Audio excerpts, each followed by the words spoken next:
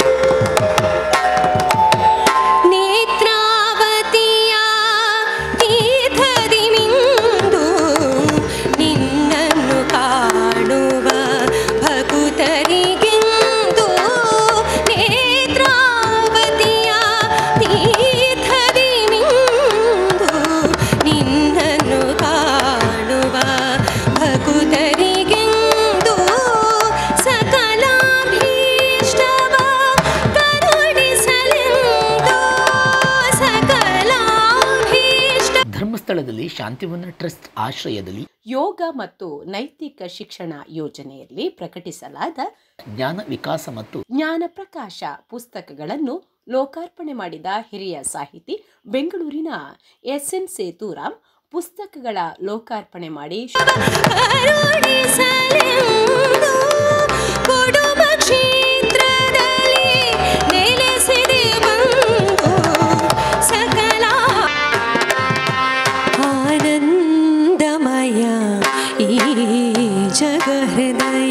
ಅಧ್ಯಕ್ಷತೆ ವಹಿಸಿದ ಧರ್ಮಾಧಿಕಾರಿ ಡಿ ವೀರೇಂದ್ರ ಹೆಗ್ಗಡೆ ಅವರು ಮಾತನಾಡಿ ವಿದ್ಯಾರ್ಥಿಗಳು ಪುಸ್ತಕ ಓದುವ ಹವ್ಯಾಸ ಬೆಳೆಸಿ ಜ್ಞಾನ ಸಂಗ್ರಹದೊಂದಿಗೆ ವ್ಯಕ್ತಿತ್ವದ ಬೆಳವಣಿಗೆ ಮತ್ತು ಪ್ರತಿಭಾ ವಿಕಸನ ಮಾಡಿಕೊಳ್ಳಬೇಕು ಎಂದು ಹೇಳಿದರು. ಧರ್ಮಸ್ಥಳಕ್ಕೆ ಸಂಬಂಧಿಸಿದಂತೆ ಮಾತು ಬಿಡ ಮಂಜುನಾಥ ಎಂಬ ಮಾತು ಪ್ರಚಲಿತವಿದೆ. ಇಲ್ಲಿ ಮಾತೆ ಮಾಣಿಕ್ಯ ಸತ್ಯ ಧರ್ಮ ನ್ಯಾಯ ನೀತಿಯೊಂದಿಗೆ ಎಲ್ಲರೂ ಸಾರ್ಥಕ ಜೀವನ ನಡೆಸಬೇಕು ಎಂದು ಅವರು ಸಲಹೆ ನೀಡಿದರು. ಇವತ್ತಿನ ಈ ವಿಶೇಷ ಕಾರ್ಯಕ್ರಮದಲ್ಲಿ ಅತಿಥಿಗಳಾಗಿ ಬಂದು ಈಗಾಗಲೇ ಉತ್ತಮವಾದ ಮಾತುಗಳನ್ನಾಡಿರ್ತಕ್ಕಂಥ ಶ್ರೀ ಎಸ್ ಎನ್ ಸೀತಾರಾಮರವರೇ, ನಿಮ್ಮೆಲ್ಲರಿಗೂ ಹೆಚ್ಚು ನನಗಿಂತ ಹೆಚ್ಚು ಪರಿಚಿತರಾಗಿರ್ತಕ್ಕಂಥ ಶ್ರೀ ಆನಂದ್ ಆನಂದ್ ಅವರೇ, ಅವ್ರು ಇನ್ನೂ ಮಾಸ್ಟರೇ ನೀವು? ದೊಡ್ಡದಾಗಕ್ಕಿಲ್ಲ ಅಂತ. ಏನು? ಅದು ಮಾಸ್ಟರ್ ಅಂದರೆ ಸಣ್ಣವರು ಅಂತ ಲೆಕ್ಕ, ಹಾಗೆ ಇನ್ನೂ ದೊಡ್ಡದಾಗಿಲ್ಲ ಅವರು ಅಂತ. ಹಾಂ. ಹಾಗೆ ನಮ್ಮ ಸಮಗ್ರ ಶಿಕ್ಷಣ ಇಲಾಖೆಯ ಕರ್ನಾಟಕದ ಸಹನಿರ್ದೇಶಕರಾದ ಶ್ರೀ ಎಸ್ ಜಿ ನಾಗೇಶ್ ಅವರೇ, ಮತ್ತಿತರೆಲ್ಲ ಗಣ್ಯರೇ, ಆಗಮಿಸಿರುವಂಥ ಎಲ್ಲ ಪ್ರತಿಭಾನ್ವಿತರಾದಂಥ ವಿದ್ಯಾರ್ಥಿಗಳೇ ಮತ್ತು ಮಕ್ಕಳೇ. ನಮ್ಮ ಕ್ಷೇತ್ರದ ವತಿಯಿಂದ ನಡೆಯತಕ್ಕಂಥ ಈ ಕಾರ್ಯಕ್ರಮವನ್ನು ಸೀತಾರಾಮ ತೋಳಪಾಡಿತಾಯ ಮತ್ತು ಶಶಿಕಾಂತ್ ಜೈನ್ ಅವರು ಈ ಶಾಂತಿವನ ಟ್ರಸ್ಟ್ ಮೂಲಕ ಮತ್ತು ಯೋಗ ಮತ್ತು ನೈತಿಕ ಶಿಕ್ಷಣ ಯೋಜನೆ ಮೂಲಕ ವ್ಯವಸ್ಥಿತವಾಗಿ ಅನೇಕ ವರ್ಷಗಳಿಂದ ನಡೆಸಿಕೊಂಡು ಬರ್ತಾ ಇದ್ದಾರೆ. ಮತ್ತು ಈ ವರ್ಷ ಕೂಡ ಅಷ್ಟೇ ವ್ಯವಸ್ಥಿತವಾಗಿ ಇದನ್ನು ನಡೆಸಿದ್ದಾರೆ. ಇವತ್ತು ಬಹಳ ವಿಶೇಷವಾಗಿ ನಮ್ಮ ಯುವಜನತೆಗೆ ವಿದ್ಯಾರ್ಥಿಗಳಿಗೆ ಅವರಿಗೆ ಸ್ಫೂರ್ತಿ ಬರತಕ್ಕಂಥ ರೀತಿಯಲ್ಲಿ ಈ ಅಂಚೆ ಕುಂಚೆ ಸ್ಪರ್ಧೆಯನ್ನು ಏರ್ಪಡಿಸಿ ಅದರ ಜೊತೆಗೆ ನೈತಿಕ ಮೌಲ್ಯಾಧಾರ ಪುಸ್ತಕಗಳು ಕೂಡ ಬರೆಯುವಂಥ ಏರ್, ವ್ಯವಸ್ಥೆಯನ್ನು ಏರ್ಪಾಡು ಮಾಡಿದ್ದೇವೆ. ಮುಖ್ಯವಾಗಿ ನಮಗೆಲ್ಲ ಗೊತ್ತಿದ್ದ ಹಾಗೆ ಸುಪ್ತವಾದ ಪ್ರತಿಭೆಗಳು, ಮಕ್ಕಳಲ್ಲಿ ವಿಶೇಷವಾಗಿ ಅನೇಕ ಸುಪ್ತವಾದ ಪ್ರತಿಭೆಗಳಿರ್ತವೆ. ಈ ಹಿಂದೆ ಅವುಗಳಿಗೆ ಎಲ್ಲರಿಗೂ ಅವಕಾಶ ಇರಲಿಲ್ಲ. ಅವೆಲ್ಲ ಕರಗಿ ಹೋಗ್ತಿತ್ತು ಮತ್ತು ಕೆಲವು ಸಲ ಮನೆಯಲ್ಲಿ ಹಿರಿಯವರು ನಿನ್ನ ಚಿತ್ರ ಬರೀತಾ ಕೂತ್ರೆ ನಿನ್ನ ಪ್ರತಿಭೆ ಕೆಟ್ಟು ಹೋಗ್ತದೆ, ನೀನು ಓದೋದಿಲ್ಲ ಓದು ಓದು ಓದು. ಓದು ಅಂತಂದರೆ ಕೇವಲ ಪರೀಕ್ಷೆಗಾಗಿ ತಯಾರಿ ಮಾಡುವಂಥ ವ್ಯವಸ್ಥೆಯನ್ನು ಹೊರತುಪಡಿಸಿದರೆ ಜೀವನದಲ್ಲಿ ಆಸಕ್ತಿಯಿಂದ ಮಾಡ್ತಕ್ಕಂಥ ಹವ್ಯಾಸಗಳ ಕಡೆಗೆ ಗಮನ ಇರಲಿಲ್ಲ. ಹವ್ಯಾಸ ಅಂತಂದರೆ ಈ ಹಾಬಿ ಬಹಳ ಮುಖ್ಯವಾದದ್ದು. ಪ್ರತಿಯೊಬ್ಬರಲ್ಲಿ ಕೂಡ ಒಂದು ಇರುತ್ತೆ. ಏನೇನೋ ಹಾಬಿ ಇರುತ್ತೆ. ಅದು ಅದು, ಇದು ಅಂತ ಹೇಳೋಕ್ಕಿಲ್ಲ. ಕೆಲವರಿಗೆ ಸಂಗೀತ, ಕೆಲವರಿಗೆ ನೃತ್ಯ, ಕೆಲವರಿಗೆ ಸಂಗ್ರಹ ಹೀಗೆ ಅನೇಕ ಇರುತ್ತೆ. ಹಾಗಾಗಿ ಈ ಹವ್ಯಾಸಗಳನ್ನು ಬೆಳೆಸುವಂಥ ಅಭ್ಯಾಸವನ್ನು ನಮ್ಮ ಹಿರಿಯರು ಮಾಡಬೇಕು. ಮಕ್ಕಳಿಗೆ ಒಳ್ಳೆಯ ಹವ್ಯಾಸಗಳನ್ನು ಬೆಳೆಸುವಂಥ ಅವಕಾಶವನ್ನು ಮಾಡಿಕೊಡಬೇಕು. ಇದು ಎಲ್ಲವೂ ಕೂಡ ಬಂಡವಾಳ ಇರುವುದಲ್ಲ ದುಡ್ಡು ಹಾಕಬೇಕಾದ್ರೆ ಇವತ್ತು ಚಿತ್ರಕಲಾ ಸ್ಪರ್ಧೆಯಲ್ಲಿ ಭಾಗವಹಿಸಿದವರಿಗೆ ಯಾವ ಬಂಡವಾಳ ಬೇಡ, ಒಂದು ಪೆನ್ಸಿಲ್ ಕೊಟ್ಟರೆ ಸಾಕು ಅವರಿಗೆ. ಆ ಪೆನ್ಸಿಲ್ನಲ್ಲೇ ಅದ್ಭುತವಾದ ಚಿತ್ರಕಲೆ ಮಾಡಿ, ಇವತ್ತು ನಮ್ಮ ಇಲ್ಲಿ ಮುರಳೀಧರ ಆಚಾರ್ಯವರು ಭಾಳ ಅದ್ಭುತವಾದಂಥ ಚಿತ್ರಕಲೆಯನ್ನು ಏರ್ಪಡಿಸಿದರು. ನೃತ್ಯ ಇತ್ತು, ಸಂಗೀತ ಇತ್ತು. ಅಂದರೆ ಪ್ರತಿಭೆಗಳಿಗೆ ದುಡ್ಡು ಖರ್ಚು ಮಾಡಬೇಕಾದಿಲ್ಲ. ಹಣದ ವ್ಯವಸ್ಥೆಯಲ್ಲಿದ್ದೆ ಅಥವಾ ಬಹಳ ಬಂಡವಾಳ ಹೂಡದೆ ತಮ್ಮಲ್ಲಿ ಒಳಗಿರ್ತಕ್ಕಂಥ, ಅಂತರಂಗದಲ್ಲಿರ್ತಕ್ಕಂಥ ಪ್ರತಿಭೆಯನ್ನು ಹೊರ ಹಾಕುವಲ್ಲಿ ಅವಕಾಶಗಳನ್ನು ನಿರ್ಮಾಣ ಮಾಡಿಕೊಟ್ರೆ ಸಾಕು. ಅಂತಹ ಒಂದು ಪ್ರಯತ್ನ ನಾವು ಕೂಡ ಮಾಡಿದ್ದೇವೆ. ಮಕ್ಕಳಿಗೆ ಅವಕಾಶಗಳನ್ನು ನಿರ್ಮಾಣ ಮಾಡಿಕೊಟ್ಟಿದ್ದೇವೆ. ಅನೇಕ ಮತ್ತು ಮಕ್ಕಳು ಇವತ್ತು ಪ್ರತಿಭೆಯಿಂದ ತಮ್ಮ ವಿಚ ವ್ಯಕ್ತಿತ್ವವನ್ನು ಬೆಳೆಸ್ಕೊಂಡಿದ್ದಾರೆ. ಈ ವರ್ಷದ ವಿಷಯ ಚಿತ್ರಕಲೆಗೆ ಏನು ಕೊಡಬೇಕು ಅಂತ ಯಾವಾಗಲೂ ಶಶಿಕಾಂತ್ ಕೇಳ್ತಾ ಇರ್ತಾನೆ, ಏನು ಮಾಡಬೇಕು ಏನು ನನಗೆ ಕಳೆದ ವರ್ಷ ಅವರು ಸೂಚನೆ ಕೊಟ್ಟದ್ದು ಮದ್ಯಪಾನದ ಬಗ್ಗೆ ಕೊಡೋಣ ಅಂತ. ನಮಗೆ ಅನಿಸಿದ್ದು ಸ್ವಲ್ಪ ಕಷ್ಟದ ಇದು ಪ್ರಕೃತಿ ಅಥವಾ ದೇವಸ್ಥಾನಗಳು ಅಥವಾ ರಾಷ್ಟ್ರೀಯ ನಾಯಕರು ಇಂಥ ವಿಷಯಗಳ ಬಗ್ಗೆ ನಾವು ಕೊಟ್ಟರೆ ಅವರು ತಕ್ಷಣ ಬರೀಬಹುದು. ಮದ್ಯಪಾನದ ಬಗ್ಗೆ, ಮದ್ಯವರ್ಜನ ಬಗ್ಗೆ, ಮದ್ಯಪಾನದ ಹಾನಿಯ ಬಗ್ಗೆ ಈ ಮಕ್ಕಳು ಏನು ಬರೀತಾರಪ್ಪ ಅಂತ. ಇವತ್ತು ಆ ಚಿತ್ರಕಲೆಗಳನ್ನ ನೋಡಿ ನಮಗೆ ಬಹಳ ಆಶ್ಚರ್ಯವೂ ಸಂತೋಷವೂ ಮತ್ತು ಅಭಿಮಾನವೂ ಮೂಡಿದೆ ಮಕ್ಕಳೇ ನಿಮ್ಮ ಮೇಲೆ. ಇಷ್ಟು ಒಳ್ಳೆಯ ಚಿತ್ರಕಲೆ ನೀವು ಬರೆದಿದ್ದೀರಿ. ಶ್ರೀಮತಿ ಹೇಮಾವತರು ಸೂಕ್ಷ್ಮವಾಗಿ ಕೆಲವು ಚಿತ್ರಗಳನ್ನು ನೋಡ್ತಿದ್ರು. ಒಂದು ಗ್ಲಾಸ್ನಲ್ಲಿ ಅದರ ಹಿಂದೆ ಒಂದು ಕಡೆ ಅರ್ಧ ಮುಖ ಒಂದು ಗ್ಲಾಸಿನ ಹೊರಗೆ ಇದೆ. ಅಂದರೆ ಅವನೊಂದು ಸಹಜ ಮುಖ. ಅದೇ ಚಿತ್ರ ಗ್ಲಾಸಿನ ಒಳಗೆ ಬಂದಾಗ ಕ್ರೂರವಾಗಿ ಕಾಣುತ್ತೆ ಹಲ್ಲಿಗೆಲ್ಲ ಹೊರಗೆ ಬಂದು. ಇದು ಕಲಿಯ ಕವಿಯ ಕಲ್ಪ, ಕಲ್ಪನೆ ಇದ್ದಾಗೆ ಚಿತ್ರಕಾರನ ಕಲ್ಪನೆ. ಇಂತಹ ಕಲ್ಪನೆಯನ್ನು ಮಾಡಿದಂಥ ಕಲಾವಿದರಿಗೆ ಅಭಿನಂದನೆಯನ್ನು ಸಲ್ಲಿಸ್ತಾ ಮದ್ಯಪಾನದಿಂದ ಆಗ್ತಕ್ಕಂಥ ಹಾನಿ ಅಪಾರವಾದದ್ದು. ಕೆಲವ ಸಂಸಾರದ ವ್ಯಕ್ತಿ ಸಂಸಾರದ ನೆಮ್ಮದಿಯನ್ನು ಕೆಡಿಸ್ತದೆ, ಆರೋಗ್ಯವನ್ನು ಕೆಡಿಸ್ತದೆ, ಸಂಸಾರದ ನೆಮ್ಮದಿಯನ್ನು ಕೆಡಿಸ್ತದೆ. ಈಗ ನಾನು ಚಾವಡಿಯಲ್ಲಿದ್ದ ಇವತ್ತು ಸೋಮವಾರ ಬಹಳ ಬಂದಿ ಬರ್ತಾರೆ. ಇವತ್ತು ಬೆಳಿಗ್ಗೆ ಕೂಡ ಒಂದು ಎರಡು ಮೂರಿ ಬಂದು ಮನೆ ಹಿರಿಯವರು ಬಂದು ಹೇಳ್ತಾರೆ, ನನ್ನ ಮಗ ಅಥವಾ ಮಗ ಕುಡಿತದ ಚಟದಿಂದ ಕೆಟ್ಟು ಹೋಗಿದ್ದಾನೆ. ಇನ್ನೊಬ್ಬರು ಬಂದು ಹೇಳ್ತಾರೆ, ನನ್ನ ಗಂಡ ಕೆಲವೇ ಸಮಯ ದಿವಸದ ಹಿಂದೆ ಮೂವತ್ತೈದು, ನಾನು ಮೂವತ್ತೈದು ವರ್ಷಕ್ಕೆಲ್ಲ ಕುಡಿತದಿಂದ ಸತ್ತು ಹೋಗ್ಬಿಟ್ರು. ಇವತ್ತು ನಮ್ಮ ಮಗನಿಗೆ ಶಿಕ್ಷಣಕ್ಕೆ ತೊಂದರೆ ಆಗಿದೆ, ಮಗಳಿಗೆ ಭವಿಷ್ಯಕ್ಕೆ ತೊಂದರೆ ಆಗಿದೆ ಅಂತ. ಅಂದರೆ ಆ ಮನುಷ್ಯ ಕುಡಿತದ ಹವ್ಯಾಸದ ಮಧ್ಯದಲ್ಲಿ ಅವನ ಭವಿಷ್ಯದ ಬಗ್ಗೆ, ಅವನ ಮಕ್ಕಳ ಭವಿಷ್ಯದ ಬಗ್ಗೆ ಅವನು ಯೋಚನೆ ಮಾಡಲಿಲ್ಲ. ಸರಿಯಾಗಿ ಯೋಚನೆ ಮಾಡಿದರೆ ಮಕ್ಕಳ ಬಗ್ಗೆ, ತನ್ನ ಬಗ್ಗೆ, ತನ್ನ ಸಂಸಾರದ ಬಗ್ಗೆ, ತನ್ನ ಮಕ್ಕಳ ಬಗ್ಗೆ ಯೋಚನೆ ಮಾಡಿದರೆ ಆವಾಗ ಗೊತ್ತಾಗುತ್ತೆ ಅವನಿಗೆ.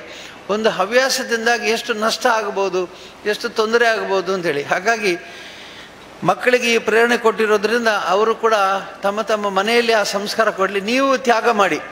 ಡ್ರಗ್ಸ್, ಇವತ್ತು ಬಹಳ ಮಕ್ಕಳಿಗೆ ಅಪಾಯಕಾರಿಯಾಗಿರ್ತಕ್ಕಂಥದ್ದು ಡ್ರಗ್ಸು. ಈ ಡ್ರಗ್ಸಿಂದಾಗಿ ಮತ್ತು ಕುಡಿತದಿಂದಾಗಿ ಅನೇಕ ಮಕ್ಕಳು ದಾರಿ ತಪ್ತಾರೆ ಮತ್ತು ಗೊತ್ತಾಗದಂತೆ ಅವರು ನಶಿಸಿ ಹೋಗ್ತಾರೆ. ಅವರ ಭವಿಷ್ಯವೇ ನಾಶ ಆಗಿ ಹೋಗಿ, ಗೊತ್ತಾಗೋದಿಲ್ಲ. ಹಾಗಾಗಿ ಇವತ್ತು ಇಂತಹ ವಿಷಯಗಳನ್ನು ಕೊಟ್ಟು ನೈತಿಕ ಶಿಕ್ಷಣ ಮಕ್ಕಳಿಗೆ ಕೊಡಬೇಕಾದ್ರೆ ಶಾಲೆಗಳಲ್ಲಿ ಈಗ ಕಡಿಮೆ ಆಗಿದೆ ನೈತಿಕ ಶಿಕ್ಷಣ. ಅದನ್ನು ಕೂಡ ಈ ನೈತಿಕ ಪಾಠಗಳ ಮೂಲಕ, ಕಥೆಗಳ ಮೂಲಕ ನಿಮಗೆ ಕೊಡಬೇಕು ಅಂತ ನಾನು ಮತ್ತು ಹೇಮಾವತಿಯವರು ಭಾಳ ಸಂಗ್ರಹ ಮಾಡ್ತೇವೆ ಈ ಕಥೆಗಳನ್ನು. ಸಂಗ್ರಹ ಮಾಡಿ ಕೊಡ್ತೇವೆ. ಹಾಗಾಗಿ ಇವತ್ತು ಎಲ್ಲರಿಗೂ ಕೂಡ ಇಂತಹ ಒಳ್ಳೆಯ ನೈತಿಕ ಪುಸ್ತಕಗಳನ್ನು ಪ್ರಕಟ ಸುಮಾರು ಒಂದು ಲಕ್ಷದಷ್ಟು ಪುಸ್ತಕಗಳನ್ನು ಪ್ರಕಟಿಸಿ ವಿತರಣೆ ಮಾಡ್ತೇವೆ.